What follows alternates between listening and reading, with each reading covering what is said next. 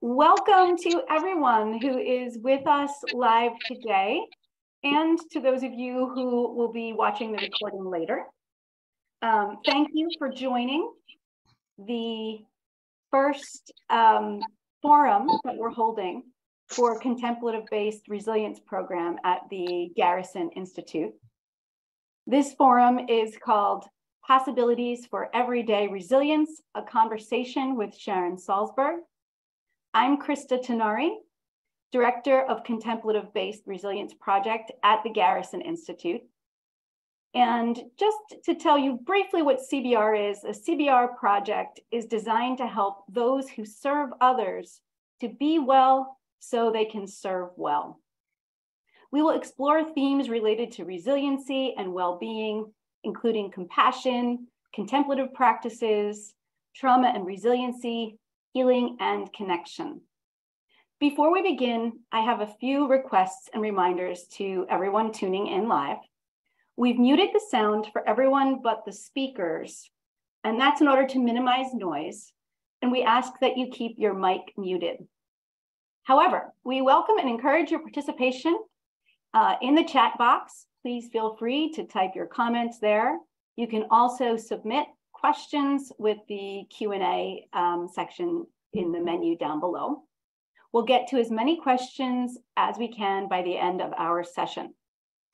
Sharon will also be leading us in a guided meditation, probably a little bit more than halfway through our time together. We are recording this session and the recording will be posted uh, through the Garrison Institute website and YouTube channel within a week's time. Please visit garrisoninstitute.org to access the recordings and view a schedule of upcoming programs. Um, Elizabeth is here with us on the call today. Uh, she also works with the CBR project and she'll be helping to manage some of the, the tech in the chat and all of that. So you can also privately message Elizabeth if you're having um, an issue, she might be able to help you with that. So as I mentioned today, today's forum is the first in our series for contemplative-based resilience project. CBR is an experiential skill building program to help human and social service workers develop practices that enhance and sustain resilience. CBR was created in 2004 by Garrison Institute co-founder Diana Rose and our guest today, Sharon Salzberg. So let me get right to the introduction of Sharon. Sharon Salzberg is a meditation pioneer, world-renowned teacher, and New York Times bestselling author. She is one of the first people to bring mindfulness and loving kindness meditation to mainstream American culture over 45 years ago, inspiring generations of meditation teachers and wellness influencers. And as a matter of fact, I had the great pleasure of hearing Sharon uh, speak and present in my life for the first time in June 9th, 1997. I still have my ticket from this conference that I went to, um, which which was wonderful. And that's where I met you initially, Sharon, which I, I, I definitely remember meeting you. I'm sure you've met thousands of people and probably don't hold that as a specific memory in your mind, but it's certainly um, your work um, certainly influenced me, and I wanted to thank you for that. Um, Sharon is co-founder of the Insight Meditation Society in Barre, Massachusetts, and the author of 12 books, including the New York Times bestseller, Real Happiness, now in its second edition, and her seminal work, Loving Kindness. Her newest book, Real Life, The Journey from Isolation to Openness and Freedom, will be released April 11th from Flatiron Books. Um, we're putting the link in chat for you so you can go ahead and um, order yourself a pre-sale copy. Uh, of course, I've read the book in full and it is an incredible source of, of wisdom um, and also just, yeah, provides such a sense of, of warmth and connection just reading the book. Um, so in any case, I will put that link for you. Uh, Sharon Salzberg's podcast, The Metta Hour, has amassed 6 million downloads and features interviews with thought leaders from the mindfulness movement and beyond. And you can visit, visit her website, sharonsalzberg.com. So Sharon, it is such a pleasure to welcome you and speak with you today. Uh, so I want to welcome you here. And I was wondering to begin um, if you would say a few words about your involvement with the origins of the CBR project uh, at the Garrison Institute. Thank you. Sure. Well, it's a great delight to be with you all. Thank you all for for registering, for coming, or for listening later, whatever the case may be. Um, and uh, what year did you say we began the project? that was really funny hearing 2004. that. 2004. Yeah, the years go by, you know, and it's it's kind of amazing. Um, basically, Diana Rose, who is the co-founder of the institute, came to me and said, "I want to do a project of kind of serving people who serve people." And the original form was we called it the Wellness Project. We worked with frontline domestic violence shelter workers for about four years. And within that four year period, we were approached by directors of shelters and supervisors and people like that. And uh, we were offering tools such as meditation, both mindfulness and loving kindness, and yoga or mindful movement. Um, some exercises of really building a community. What surprised me, I think, more than anything to begin with, was that these people were all working in the same field and they yet had an experience of isolation. They couldn't bring the stories home, not only because of confidentiality, but because they were so terrible to hear. They thought, I can't bring that home. Um, and they weren't necessarily speaking to one another and sharing resources and, and getting support that way. So we had a variety of programs um, that lasted for four years. And then there was this very interesting point, I think, in general, it was very interesting because we could have sought to continue moving on to the women, the children occupying the shelters, to perpetrators.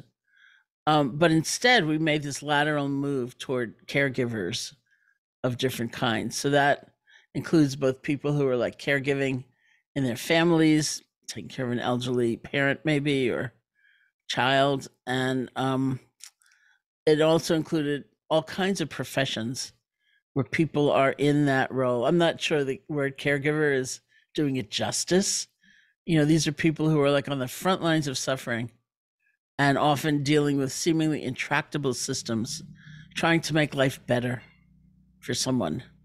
And even people started approaching us like saying, I'm a manager. Do I count as a caregiver? I'm trying to take care of my staff and make sure they can meet these sort of intense situations. And people approached us and said, I seem to always be the caregiver in my friendships.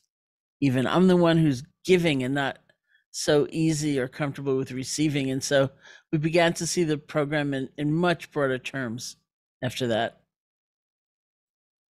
That's wonderful. Thank you. Um, you know, I wonder if you could speak for a moment on this um, concept of resilience. You had uh, shared something about resilience that happened in one of your uh, at an event you were speaking at one time. You made me mention that, and just talk about maybe how how we're thinking about resilience and how it's maybe a little bit different from what people might typically think about. Well, the story, which is actually in my my uh, forthcoming book, but without mentioning the word Garrison or the term Garrison Institute, but now you all will know.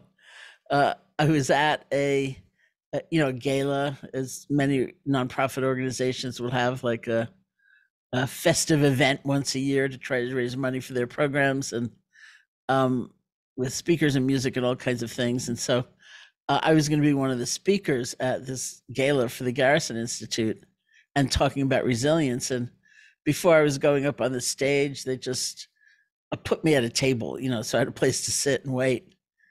And the hostess of that table turned to me and said, I certainly hope you're not going to be talking about resilience. I was just at a resilience lunch today.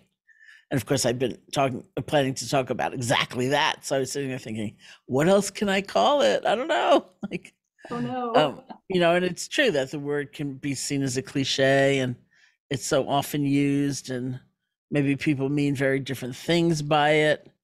Um, but I knew from my experience, say with the domestic violence shelter workers or people in a caregiving role in general, that uh, there is such a thing. Some people don't like the term vicarious trauma, but there is an experience of burnout that is not small as people are in that role, one way or another, personally or professionally, and that uh, we need to understand, first of all, the stress dynamic, which is a dynamic, is composed of many elements. There's the pressure, the circumstance, the situation, say, coming at us, and then there's a resource with which it's met.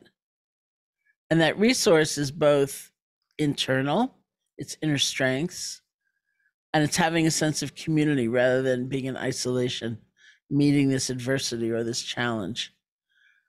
And to say that we're going to focus on building that sense of inner strength of resource is not to say we don't try to do things about changing external circumstances. We do. But sometimes we cannot or we cannot immediately. And to seek change from a place of exhaustion, depletion, overwhelm is not a good prescription for change, actually, in a system. And so we look at what makes for that sense of inner resource. And that is really resilience because life is life and we go up and we go down and they're beautiful, wondrous times and they're really terrible challenges, some abrupt and sudden, some kind of slowly building and then there for a good long time. Um, so how do we meet it? The problem with the word resilience, aside from being a cliche often, is that it seems to imply going back. Like I'm going to bounce back to the precise place I was at previously, but uh, that's a little limited, isn't it? You know, we're also there's lessons learned, or there's new strengths developed, or new sense of community we feel not so alone in meeting this challenge. And so we're going forward, even as we are recovering or resuming. So um, sometimes these days I do say recover rather than resilience. Um, although I haven't been in a gala lately where I was asked to speak about resilience.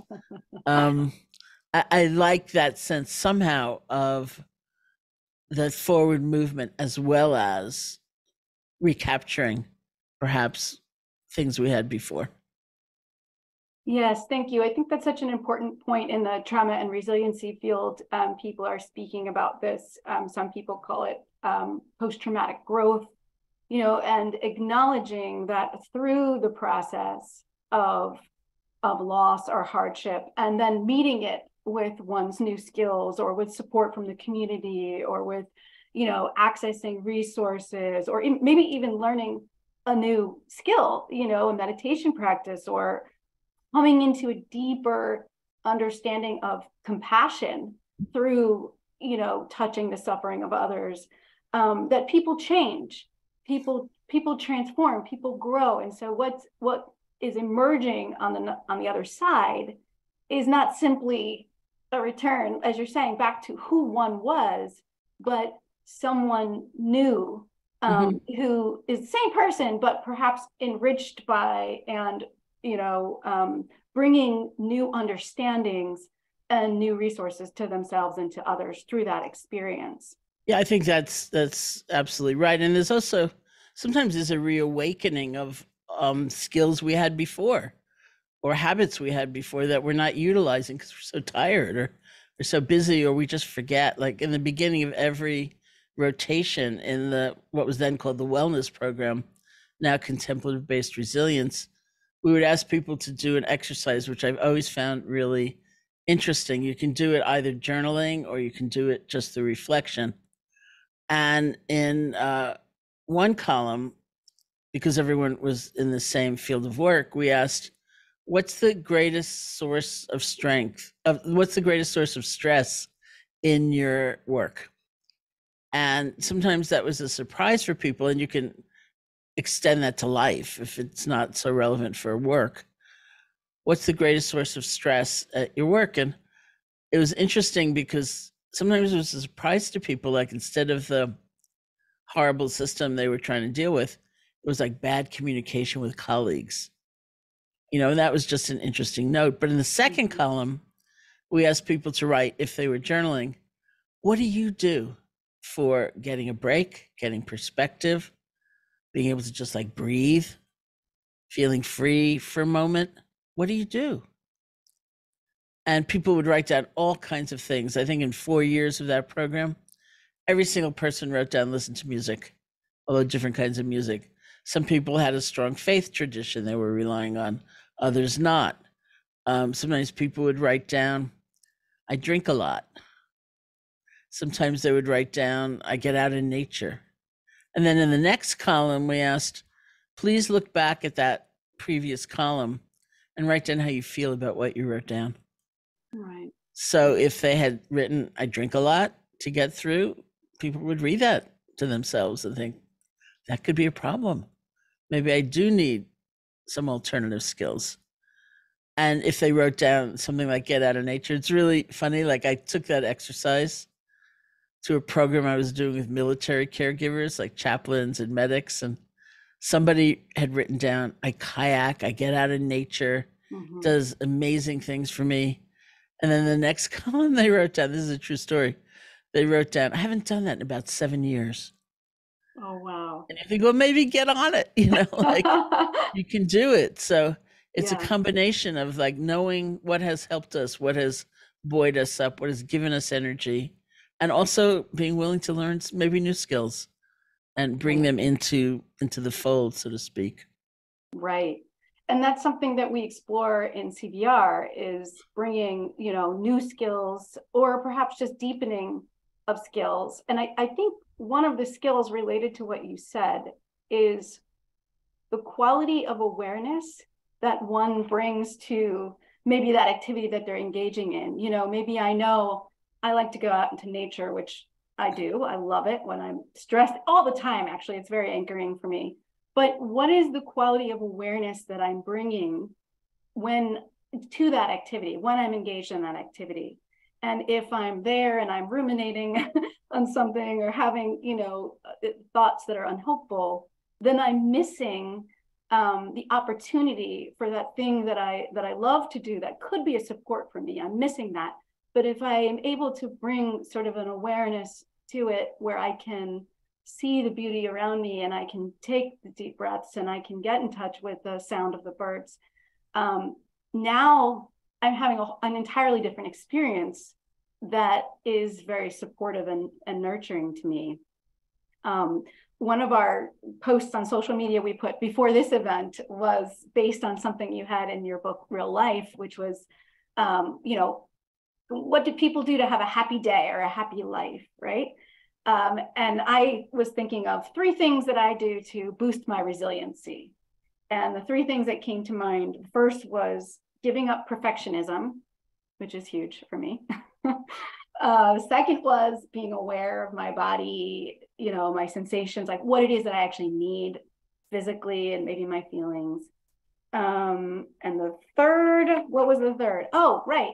It was this, what I just mentioned, which was um, let no joy go unnoticed. So I have this phrase, let no joy go unnoticed. So if there's a joy, either externally or internally that I'm experiencing, to just be able to pause and and notice that. And yeah, I'm wondering if you could speak to that maybe a little more based on your your wisdom and practices with respect to resilience.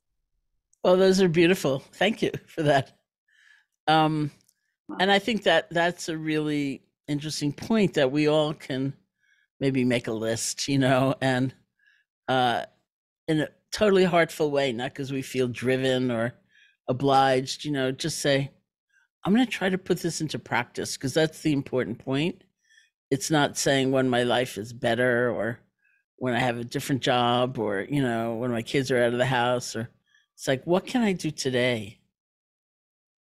Either what I have I done in the past or what what can I take on as a kind of adventure? I think it's really important. So hearing your list, I thought I meditate every day, um, even if it's 10 minutes. Um, uh, I have a friend, Amishi Jha, who's a neuroscientist, and she's studied meditation and its effect on the brain, obviously, and on one's life. uh, in high stress occupations like military, um, high performance athletes, first responders, hmm people like that. And she says 12 minutes a day of formal meditation, sitting or walking, will actually bring the changes that one needs. So I always tease her and I say, I don't know if it's that healthy to go for the bare minimum, you know, but it's very reassuring. No one is saying if you choose meditation as one of the practices that you're going to experiment with, right, no one is saying you've got to do it six hours a day to right. see any result. So think about that, you know, and I I try to practice well, actually it's at least 12 minutes a day in in honor of her work. Um and that means sitting in meditation or doing a formal walking meditation. I also try to undertake a practice of gratitude. It's a little bit like you're taking in the joy hmm because I see that my own personal conditioning, my familial conditioning, my cultural conditioning is say to come to the end of the day and not think so much about what I have to be grateful for, but more what I have to complain about. You know, I Mhm. didn't show up in the way I wanted, or this person wasn't really present, or there was always an airline in my days of travel, and you know, there's always Mhm. like a phone service. And that's just where my mind goes. So it takes not force or a kind of violence, but intentionality. Like, what else happened today? What's the Mhm. good? And that makes a very big difference in terms of resilience. Sometimes people think of gratitude as um, kind of weakening, you know, like if I practice gratitude, I'm just going to be satisfied with some terrible situation at work. I'm just going to be grateful for crumbs and it's not right. But in fact, studies show that if we practice gratitude, we feel that sense of inner resource, right? We don't feel so Mhm. depleted, so uh, deficient, and then we can meet situations in a better way and and seek change. So I meditate, I practice gratitude, and I try to get in touch with when I am feeling something uh, difficult, you know, anger, fear. Then rather than calling those states bad or wrong, to recognize them as states of suffering and realize that out of compassion for myself, I can seek to relate to them in a better way. And that makes a big difference too. That's wonderful to hear those three things. Thank you. Uh, so yes, something you said also reminded me of um, my friend Elaine Miller Karas, who is um, one of the co-founders of the Trauma Resource Institute. And one of her favorite resourcing questions when people are in touch with suffering or experiencing something challenging is what else is true, right? So to notice what else is true. Um, and it might be something good. so that's another phrase that can be helpful. Um, and then also, you just mentioned emotions, and I thought I might um, read a quote from um, real life, if you don't mind. It's about that. Okay. Um, so the quote is um, We can give ourselves permission to feel things.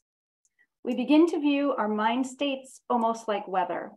We learn to take an interest in our passing storms rather than feeling so threatened by them. If we cultivate mindfulness, we learn to neither grab hold of these passing feelings, identifying with them, nor push them away. Instead, we recognize our reactions for what they are with enough spaciousness to choose whether to act on them or let them go.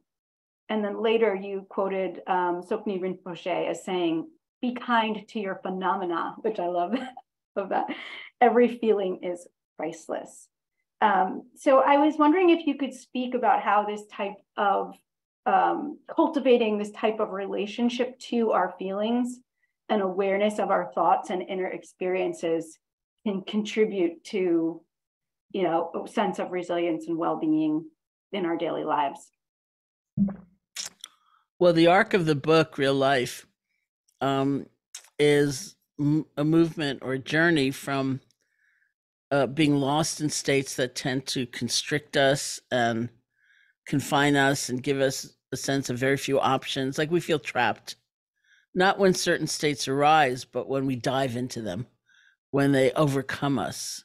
And Mhm. interestingly enough, also when we struggle against them, when we hate them, or fear them, the consequence tends to be they actually get stronger.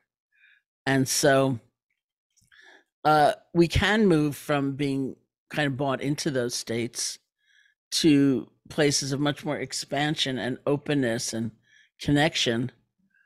But it begins with relating skillfully to those very states. So, mm-hmm. um, you know, let's say fear or shame maybe something out of habit. It's very prevalent in our in our minds, in our experience, and it comes up. It's just going to come up, you know, and we can't blame ourselves for that accurately mm-hmm. because that invites the idea that we should have been able to control what comes up in our minds. And I remember one of my very early meditation teachers in India, a man named Munindra, said to me, Why are you so upset about that thought that's come up in your mind? Did you invite it? Did you say at mm. 315, I'd like to be filled with self hatred, please? No. But when conditions come together for something to arise, it will arise. So rather than expending all that blame, like I shouldn't feel this, I've been meditating all these years, I've been in therapy forever, why is this here?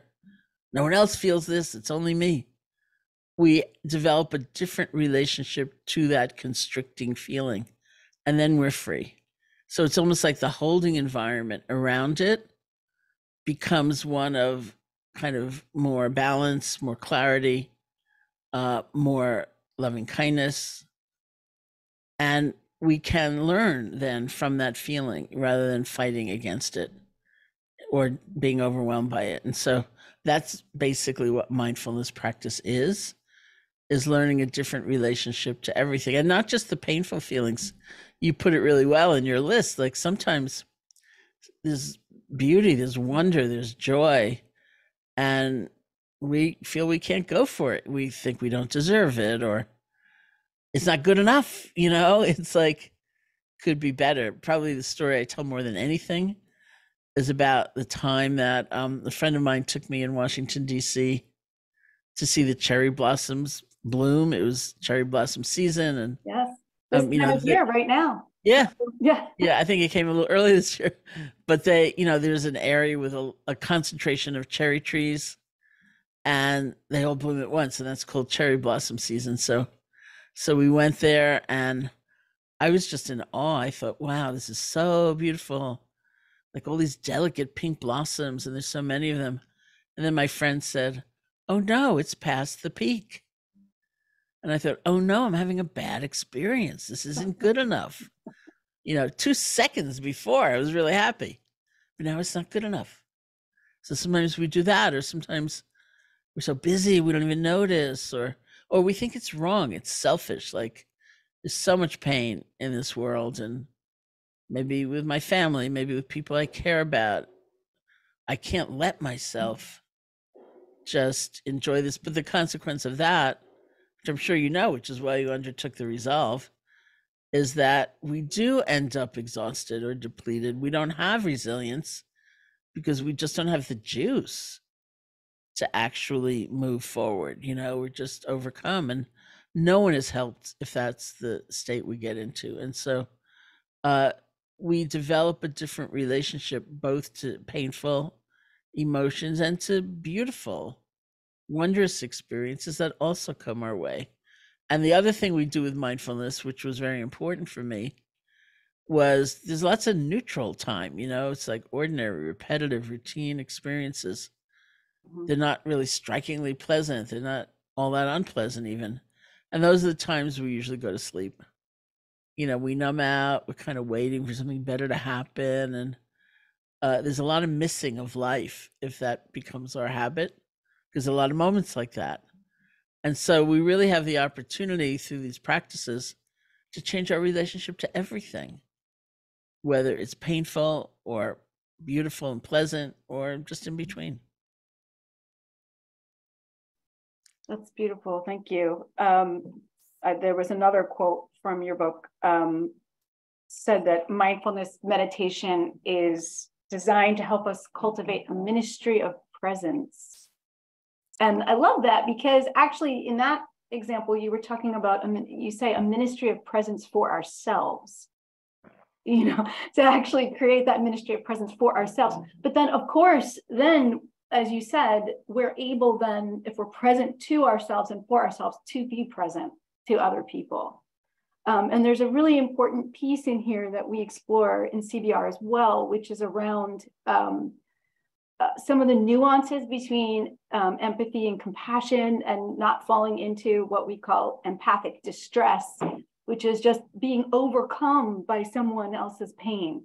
You know, mm-hmm. that our natural tendency to sense other people's pain and to feel that pain, especially if you're in any profession uh, where you're helping others or caring for others or trying to solve problems, social problems, it could be quite easy to be overcome by that.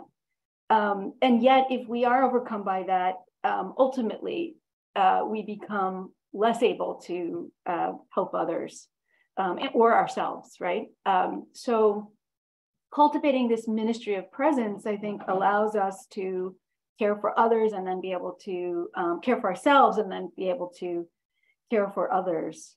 Um, so, yeah, anything you might want to add to that that concept, I think it's mm-hmm. so helpful for folks to understand yeah, the, the quotation came in in the book in real life uh, after this little story about um, this chaplain Kate Braestrup, who uh, wrote in her own book the story about a time she was sent to spend time with a couple whose child was then lost in the woods, and the child was recovered mm. safely and some hours later. But um, sitting there in the beginning, the mom said to her something like, "How great you were."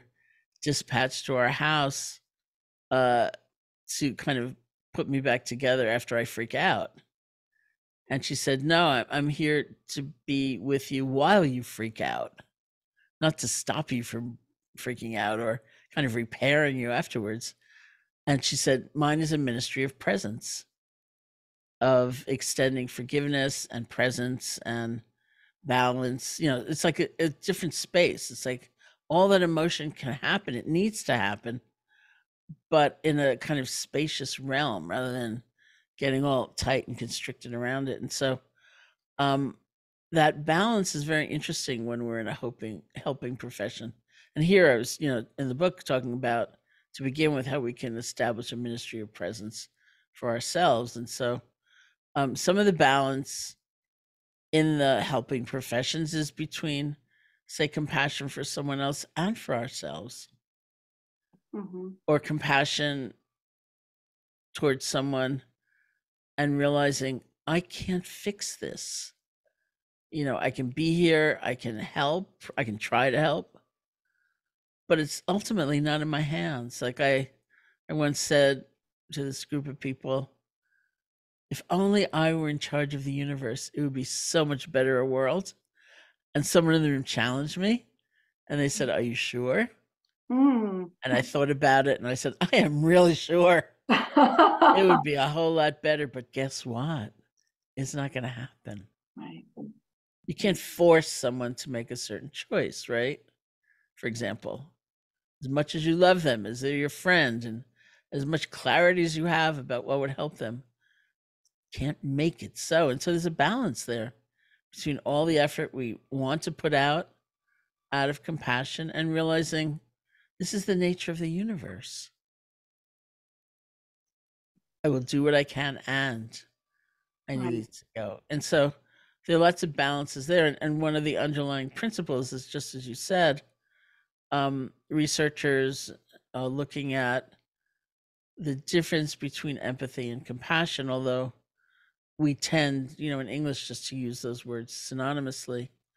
Uh, in the Buddhist psychology, compassion has a kind of compound meaning. They describe it as the trembling or the quivering of the heart in response to seeing pain or suffering. So that's like the empathy part.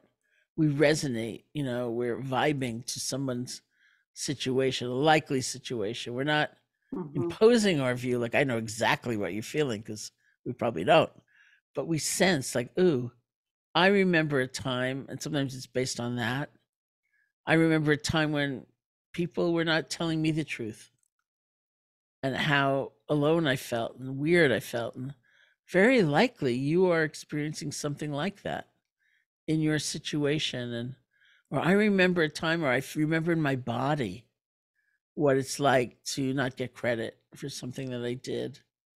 And here you are, you're likely feeling some of that. You know, so the empathy part is important. It's like a building block. But the compassion part comes in the next part of the definition, which is so it's a movement of the heart, it's a movement toward to see if we can be of help. Notice it's not a movement into to burn up ourselves. And it's also not a movement to seize control and be the savior, right? It's the trembling or the quivering of the heart in response to seeing pain or suffering. It's a movement toward to see if we can be of help. So I really do see it as sequential. It's like we need that moment of empathy. And I think we need, we see around us a world often without empathy and how cold and cruel it can be. So we need that, but it's not exactly the same as compassion because maybe we feel that moment of empathy and then we're frightened. And we think, I better turn away, or we're so tired. We just can't. You know, we know what that's like, right? If you're really tired and you're feeling overwhelmed and somebody else comes by and tells you their sad story, what you're really thinking is like, go away, please.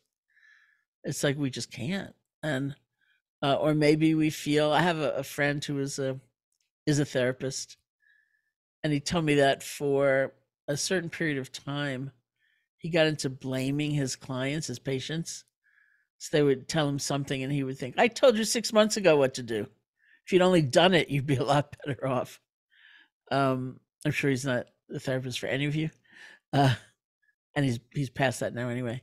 But sometimes we get into that state, or we do get into that weird savior mentality like i'm going to be the one who makes it all okay by tonight or we have the compassionate response which is the movement toward to see if we can be of help so in that definition there are certain things implied like balance right the balance between compassion for ourselves and for others and that sense of rightful limits things like that. Um, you know, so it, it's a very important underlying thesis, and uh, it's very gratifying that there's more and more research about it. Absolutely.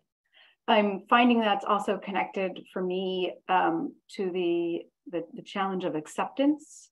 That accepting, you know, what sort of seeing clearly what the reality of a situation is, and accepting, you know, what can be done or can't be done you know the part of something that i am able to to do or change and um, you know we often want to get stuck on things that we want to do that actually aren't possible like you were saying earlier right like if i had all the power uh, i could do xyz but that's not actual reality so really working a lot on um, acceptance has been um, a big part of my journey. You know, I'm wondering if this might be a good place to segue into our loving kindness meditation. So we mm-hmm. might be able to practice that together. Would you lead us in that, Sharon?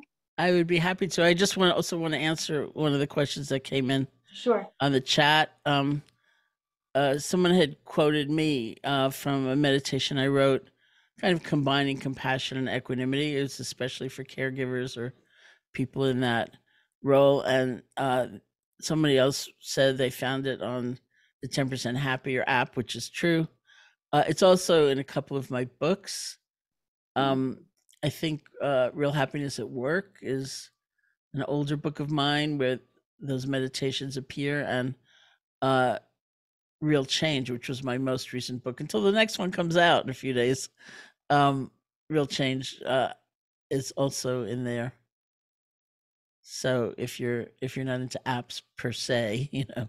Thank you. And we'll we'll post the link to that in the in the chat, those two other books. Uh-huh. Thank you. Okay, so let's sit together a bit. If you want to just sit comfortably, you could be at ease, close your eyes or not, however you feel most comfortable, it's fine. Either way. And in loving kindness practice, we tend to use as an object to rest our attention something like the sensation of the breath. It doesn't have to be the breath. If the breath doesn't work for you, that's fine. You might choose a different sensation in your body. Just something that's already happening. You don't have to like seek out, you know, in an intense way. We can just rest. And in loving kindness practice, rather than so much centering our attention on the breath, we substitute the silent repetition of certain phrases. But it's the same feeling of just resting our attention, first gathering our attention behind one phrase at a time, resting. And the real key in all these practices is your mind's going to wander. Don't freak out. It's okay. You'll get lost in thought, spun out in fantasies, or you'll fall asleep. We expect that. That's just conditioning. What's really important is when you realize that, just gently let go and come back. So, in doing loving kindness practice, even though we're reciting silently certain phrases, we're not trying to kind of manufacture a certain special feeling. The power of the practice is to gather all our attention behind one phrase at a time. And then we'll just see what happens. Okay? The phrases are like gift giving, they're offering. May you be safe. May you be happy. Things like that. And I'll use phrases. If you have your own phrases, that's totally fine. If you want to use these for now, it's great. But those are the basic principles. We offer through the phrases the sense of connection, of care to ourselves and to others. Okay, so we'll start with ourselves Common phrases are things like, May I be safe, be happy,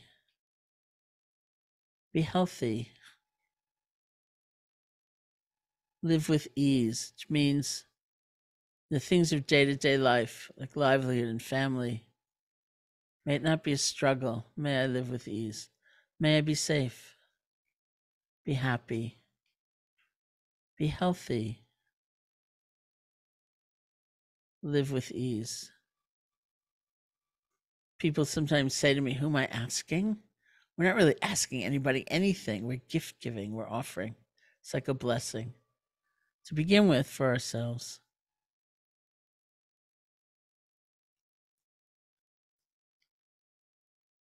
Just repeat the phrases over and over again. With enough space, enough silence so that it's a rhythm that's pleasing to you. May I be safe. Be happy. Be healthy. Live with ease.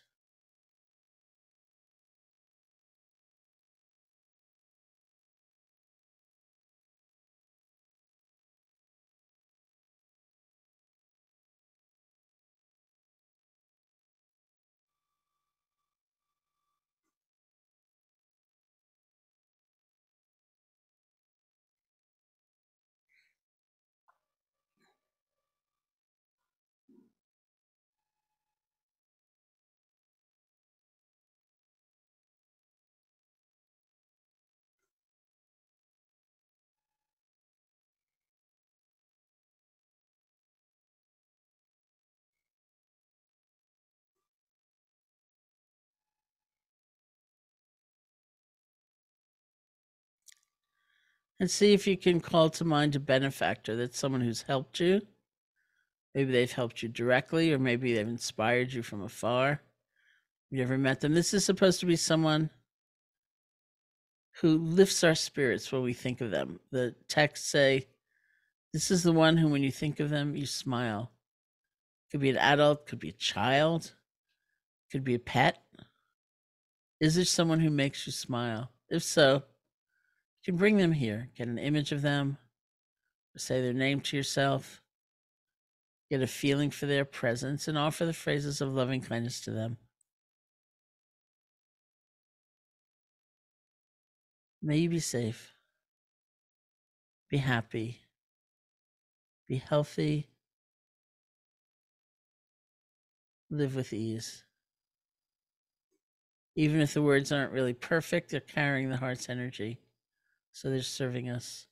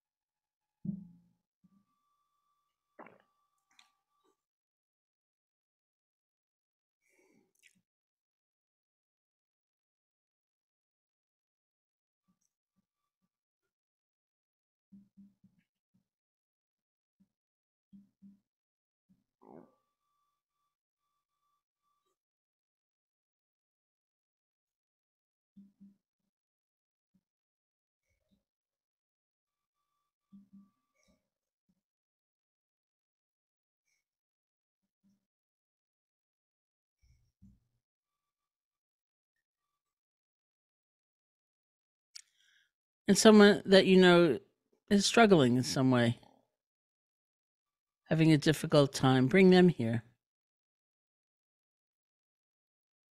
See what happens as you offer the phrases of loving kindness to them. May you be safe, be happy, be healthy, live with ease.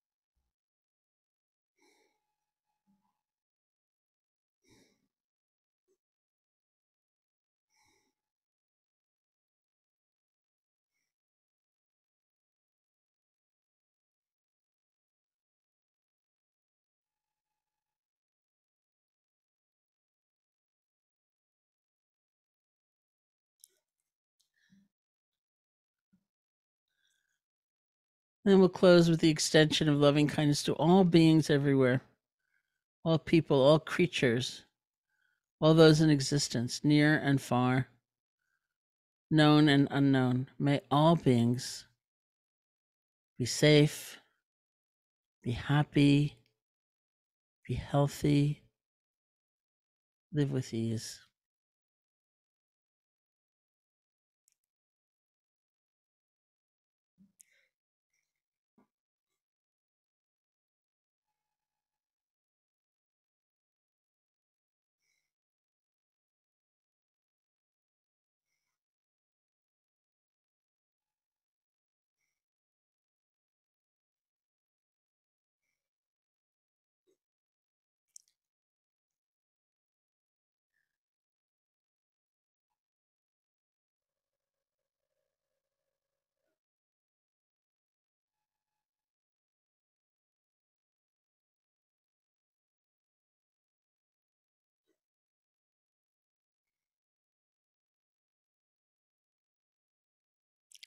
And when you feel ready, you can open your eyes or lift your gaze, and we'll end the meditation.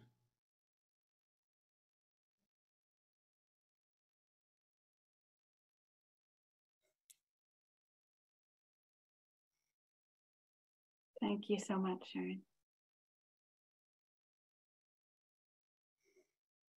Uh, we have a few moments. If um, anyone has an additional question, if you want to put it in the Q&A section or um, in chat, we have a minute or a few minutes to answer that before we need to close out.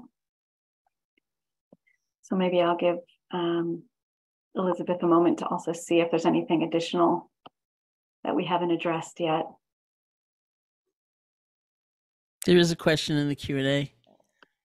I being an inveterate chat and Q&A reader. Wonderful. Uh, would you like to address that one, Sharon? Yeah, do you want to read it?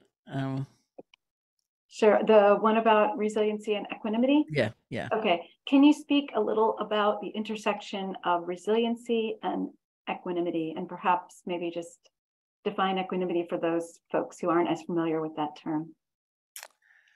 Um, the word equanimity is a little bit strange. I know. Uh, it it usually refers uh, in this context to uh, balance. That's what it means, and it's the balance that's born of wisdom. So it means like having perspective on things. You know, you see your friends, they're falling apart. You have a really good sense of what might help them, not just because you're nosy, but you're smart, and you offer it, and you're present, and you are there and you cannot make it so. That last part is wisdom, right? You can't insist, like, get better. You know, here's your list for how you should change your life. Um, life's not like that. And so anytime we bring in wisdom, we're bringing in equanimity. Um, things take time. Some things are not even a one generation fix. I've come to feel but that doesn't mean they're not worth planting seeds for. We have to. Um, everything changes all of the time.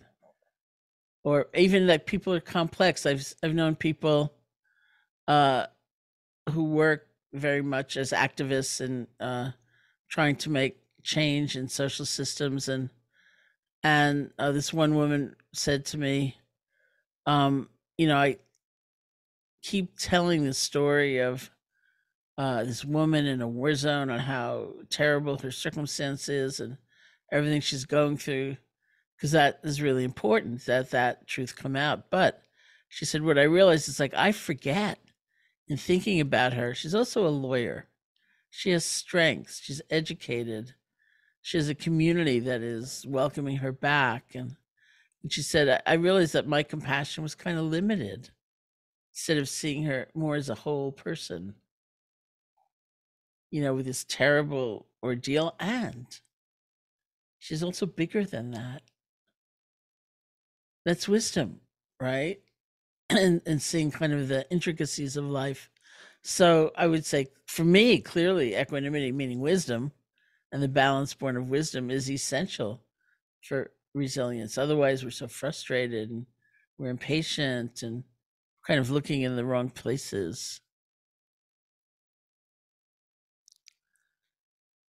Thank you. That's clarifying. Um, there's two other questions that I see. Um, one relates to uh, introducing meditation um, to someone who's of the older generation who's never tried it before, but perhaps is interested in, you know, what might be the best way of of doing that, or even maybe perhaps you know which which skill might you you know or something would you start with right with someone like that um, another question is around um, the 12 minutes a day um, meditation. Does that have to happen all at once to have the impact that um, you know dr jha researched or could it be separate? So i'll leave both of those with you. Okay i believe what amishi found was that the 12 minutes does not have to be all in one chunk that you can divide it up but uh, I think everyone has to see what's realistic for them. Mean, for me, you know, I do both actually. I, I try to sit for a chunk of time. And then if I have a minute, you know, before a Zoom call or something like that, rather than just sort of waste my time, uh, which would be very tempting. I think let me just breathe for a moment, you know, and, and try to bring it in that way. Um, if in terms of introducing someone to meditation, there are all these apps and such. If you're thinking about a book, I will unashamedly say that I feel like my book, Real Happiness, is a really great. It was written to uh, either help introduce people to meditation or um, help you renew a practice if you have one. So it it covers a lot of different kinds of meditation, and I'm pleased to say a friend of mine was leafing through it when it first came out, and he said to me, "Oh, you wrote this one in American." I said, "Yeah, you know that's what I was trying to do." Um, Making very so, accessible to folks yeah, who maybe yeah. weren't. Yes. Yeah. So, uh, it is a little embarrassing to be recommending one's own book, but it's Not honestly how I feel. I, I will rec- I will um, second your recommendation. Thank you. it is it is excellent, and um, I would say the idea that it has very uh, straightforward instructions, bite-sized pieces, um, you know, is uh, is really important to folks just starting. Um, so, thank you for recommending that. I'm sure people will enjoy it. Mm-hmm. And then, just because we have like no time, I'll say that uh, if you look up different scientists, like um, Barbara Fredrickson has done a tremendous amount of study on loving kindness meditation. Yes. So she would be a source, and then you can take off from there to people she refers to. And what do I feel about the term empathetic joy rather than sympathetic joy? I don't think it matters. You know, like I went to India so long ago, I went more than 50 years ago. And so the translations I was reading were very old fashioned ones. And so I'm used to used to saying suffering and not stress, as for example, as a translation for the word dukkha in Pali or Sanskrit. Uh, I'm used to saying sympathetic joy. You can call it something else if you want. Uh, it, it's just, it's really up to you. Um, your language issue is fascinating because, you know, a lot of these concepts um, have were translated from other languages um, and have different nuances or understandings that are sometimes culturally embedded that don't necessarily translate. Um, but I think the important thing is, um, you know, each person is probably stepping into, you know, mindfulness, awareness, compassion from their own point of view. And um, sometimes people can benefit from exploring what a particular term you know means to them or how they can understand it and just do that. And it can be a very personal thing. It doesn't have to be a thing where we say now everyone has to use this this term right? Um, and, then we have these wonderful dialogues where we can come to a shared understanding of what we're talking about when we're discussing empathy and compassion and so on um, and so i hope we will have many more of these discussions and meetings. Uh, it's been truly wonderful to have this time with you, Sharon. Thank you for you know giving us your time. Uh, I see we had you know almost 100 people on this call, and I'm sure many more who will tune in. So I want to thank everyone who joined us today, um, as well as everyone who's you know watching the recording afterwards. Um, Sharon, again, thank you for your wisdom, uh, your compassion, uh, all the work that you've done these many, many years helping people um, develop a closer relationship to themselves and to others, and um, for such an enlightening conversation today. Uh, so just a reminder, um, all contemplative-based resilience forums are offered free of charge, uh, but we do need funding to continue our programming. So if you feel so moved, please visit the garrisoninstitute.org website and you can um, donate there or become a sponsor. And also we will have additional um, free will offerings and free, free presentations. So be sure to check out our upcoming virtual retreat schedule. Um, Sharon, you have some additional uh, you know, retreats and, and uh, offerings coming up soon. So one of them is with uh, the Holistic Life Foundation, right? With you together um, called Love is the Most Powerful Force in the Universe. And that's coming up on Saturday, uh, May 13th. There's also a summit happening right now called the Living an Authentic Life Summit, which you are a part of, as many other teachers. Um, it started yesterday, but I believe people can still um, log into that and see what's going on there. It's running through April 2nd. Um, so please check out, you know, the additional links that we posted in chat and stay connected with us. And we do hope that you can um, join one of our future programs.